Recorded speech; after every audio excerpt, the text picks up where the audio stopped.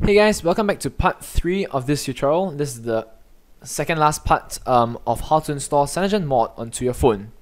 So now, having already installed you know all these programs and download these files onto your computer in part 1, and then installing a recovery onto your phone in part 2, we'll now be moving into part 3, where we will be copying files from our computer into our phone to get ready to install CyanogenMod. mod.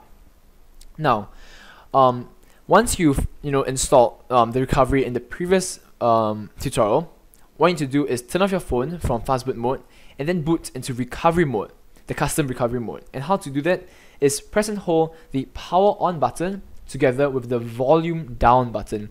So press and hold these together for about 5 to 10 seconds and your phone should boot into recovery mode. So once in recovery mode, it will appear on your computer um, as a USB drive, okay, or something like a USB drive. So just click open device to view files, go to internal storage, and then copy what we copy the two remaining files that we downloaded earlier on into your uh, into your root folder.